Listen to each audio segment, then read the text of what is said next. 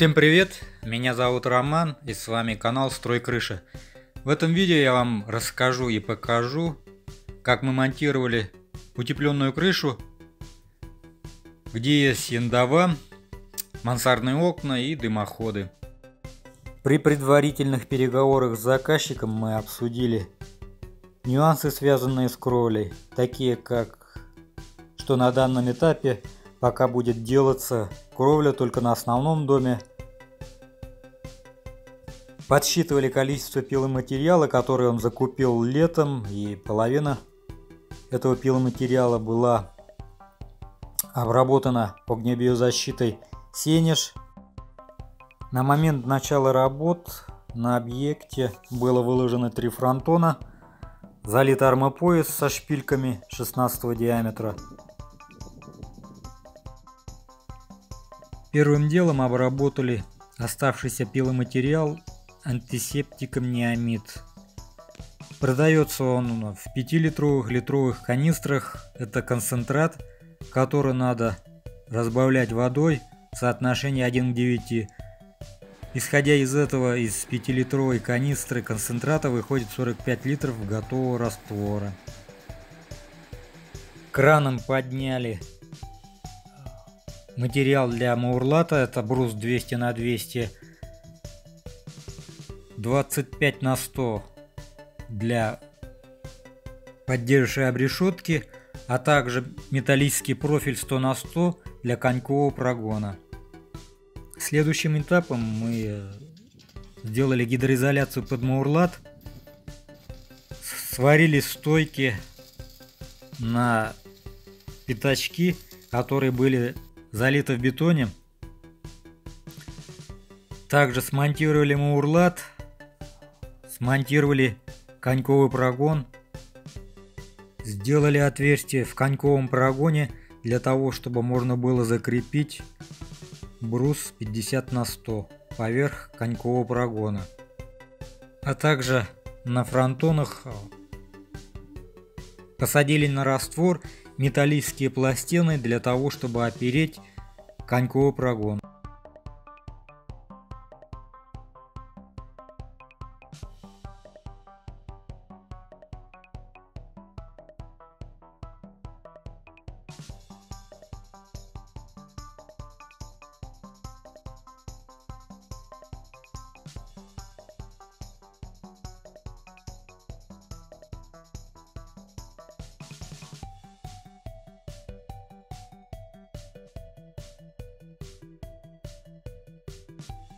Помощью угольника сделали разметку запила на стропильной ноге.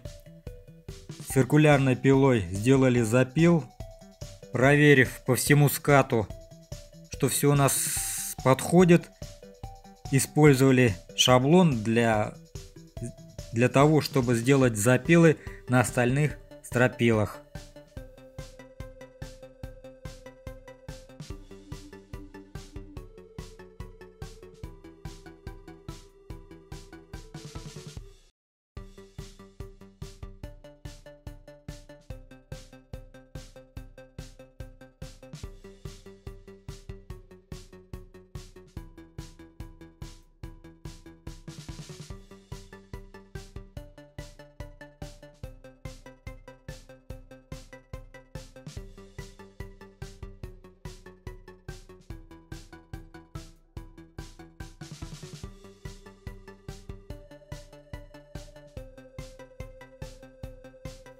На Маурлате сделали разметку, где должны быть окна, дымоходы.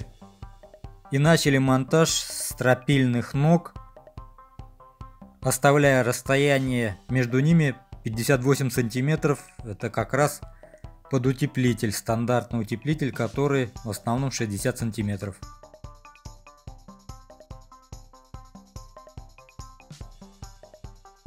Следующий этап это монтаж коньковых накладок.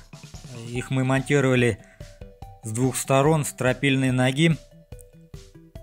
Прокладывали новотином для того, чтобы не было мазков холода. Также прибивая на 120 гвозди с каждой стороны по 6 штук. Стропила крепили с каждой стороны на гвозди 120, 150, а потом добавили уголки 90 на 65 на оцинкованные саморезы. Отмерив 2 метра 65 сантиметров, это для того, чтобы впоследствии после отделки высота второго этажа была примерно 2,50, мы гидроуровнем сделали две отметки, смонтировали ригель, проложив льноватином. После этого этот уровень перенесли на противоположную сторону, также смонтировали ригель, потом протянули шнурку и смонтировали остальные ригеля. Параллельно, когда мы монтировали стропильную систему, ребята из другой бригады делали дымоходы. Их на, у нас на крыше будет три штуки. Исходя из проекта, э, яндова у нас была из бруса 50 на 200. Обсудив этот момент с заказчиков, а он в свою очередь проконсультировавшись с проектировщиком, было принято решение сделать из двойного бруса 50 на 200. В итоге сечение яндовы у нас встало 100 на 200. Между ними проложили также льноватином и стянули шпильками 14 диаметра.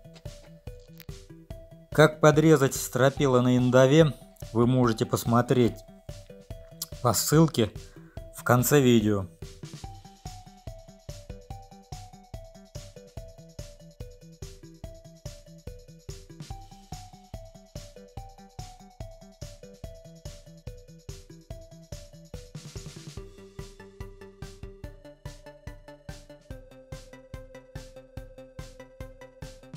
Также готовили проемы под мансардные окна, их будет у нас на крыше 4 штуки. На границе наружной стены поставили заглушки для того, чтобы упереть утеплитель. Компания Уникма привезла утеплитель. В нашем случае это изорок изолайт 40 плотности размером 60 на метр. Да, она чуть-чуть больше пылит, чем Роквелл, Скандик, но понравилось работать именно из-за плотности.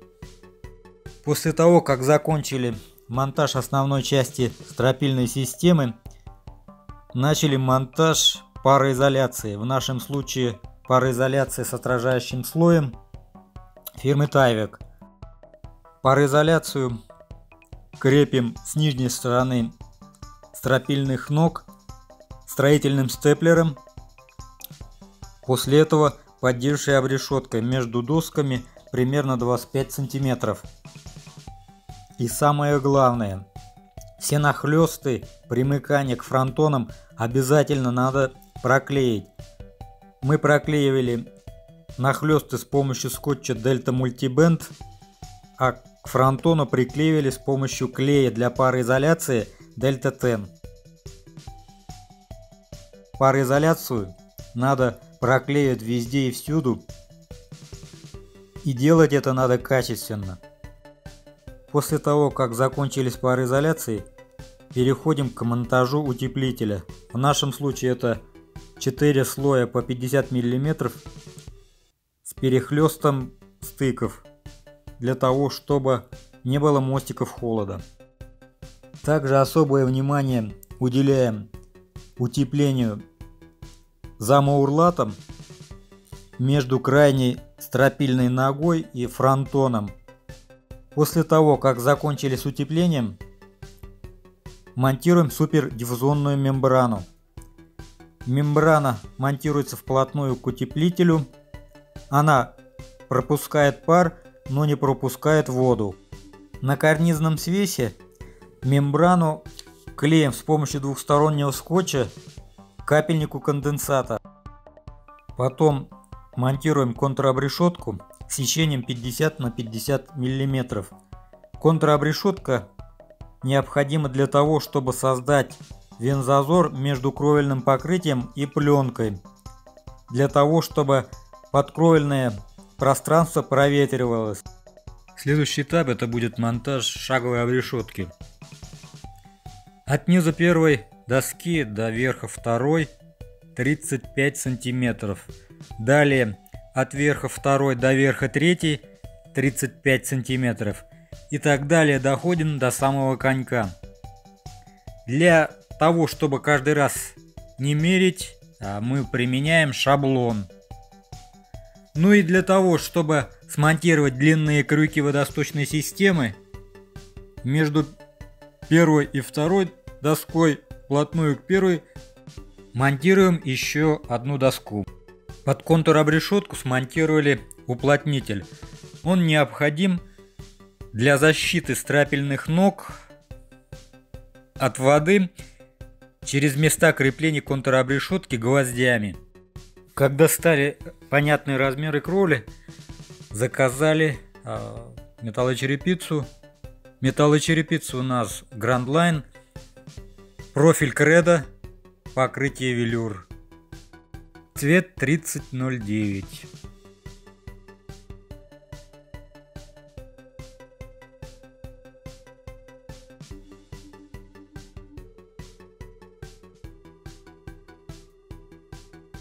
Также параллельно монтируем выносные стропила с помощью консольных балок.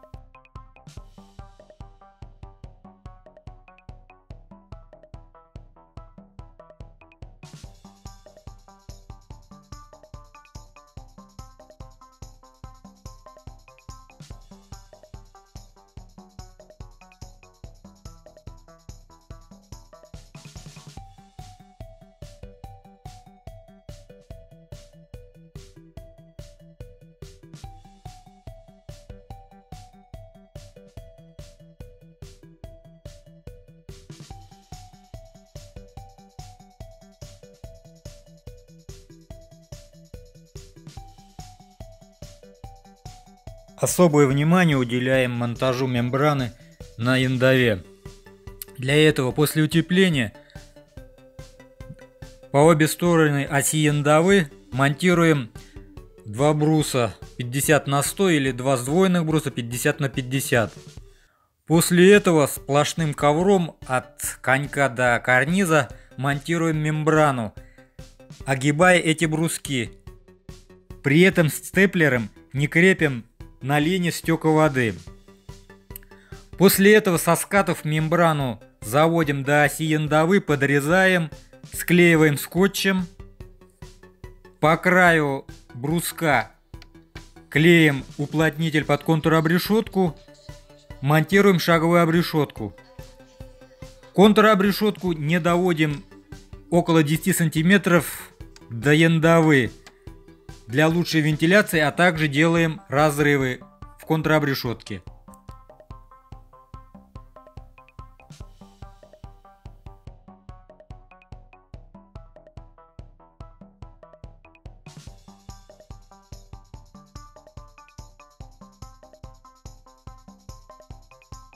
После этого между шаговой обрешеткой монтируем дополнительную обрешетку для удобства монтажа Планки нижние яндовы.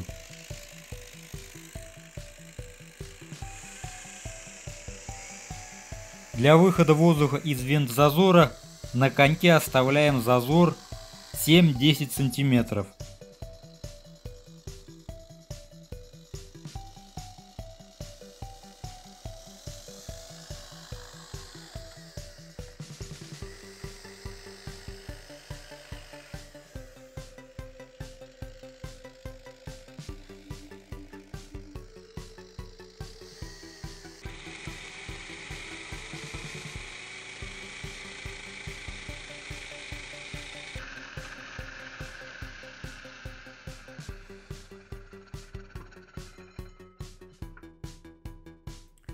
Следующий этап это монтаж планок нижней яндовой. Нахлест сделаем около 20-25 сантиметров. И на нахлесте обязательно наносим кровельный герметик. После монтажа планки нижней яндовы монтируем универсальный уплотнитель для того, чтобы снег зимой не задувал под металлочерепицу. Ну и после этого монтируем металлочерепицу на этих маленьких скатах. На коньке также оставляем зазор около 70 сантиметров. Поверх клеим аэроэлемент конька для того, чтобы снег не задувал под металлочерепицу. Ну и сразу же потом монтируем конек. Переходим на подготовительные работы на основном скате. Первым делом это монтируем сетку ПВХ на карнизный свес для того, чтобы насекомые мелкие птицы не залетали в вензазор. После монтируем длинные крюки водосточной системы. Между крюками монтируем компенсирующую рейку. Поверх компенсирующей рейки монтируем карнизную планку. После того, как металлочерепицей подошли к мансардным окнам, начинаем монтаж мансардных окон. Полное видео о монтаже мансардного окна вы можете посмотреть по ссылке в конце этого ролика.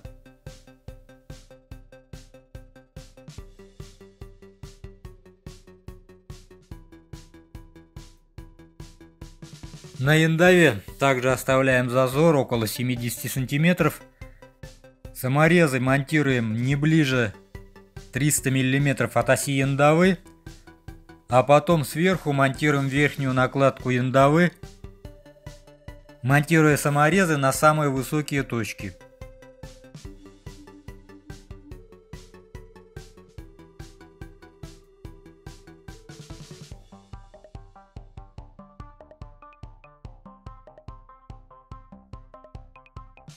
По креплению саморезов на скате.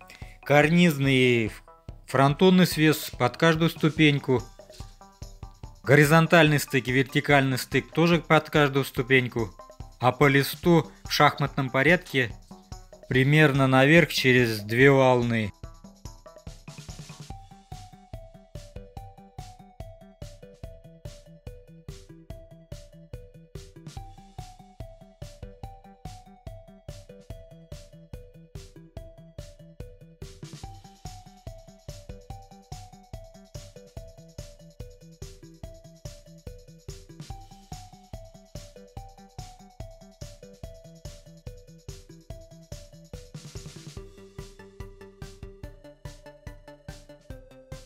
Еще раз обращаю внимание на качество монтажа пароизоляции. Пароизоляция должна быть проклеена везде и всюду. Если этого не сделать, пар пройдет через эти щели в утеплитель. В зимний период утеплитель намокнет, потеряет свои свойства, и это приведет к удручающим последствиям. Поэтому обязательно пароизоляцию надо проклеивать везде и всюду. И делать это надо качественно. Еще пару слов о монтаже пароизоляции вокруг дымоходов. Исходя из требований пожарной безопасности, горючие материалы не должны быть ближе 50 см от центра дымохода, поэтому заказчикам были заранее изготовлены элементы из оцинкованной стали. Перед этим на деревянной конструкции был смонтирован базальтовый картон, а также был смонтирован короб из оцинкованной стали.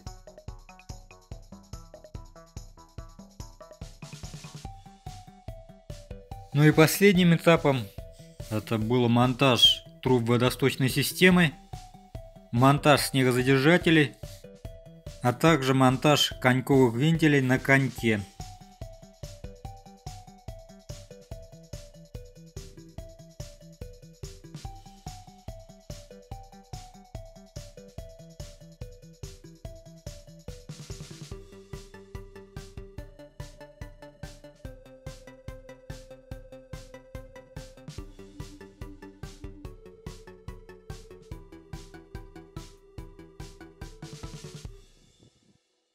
На этом закончились работы на этом объекте. Всем, кто смотрел, спасибо. Удачи. До новых встреч на новых объектах.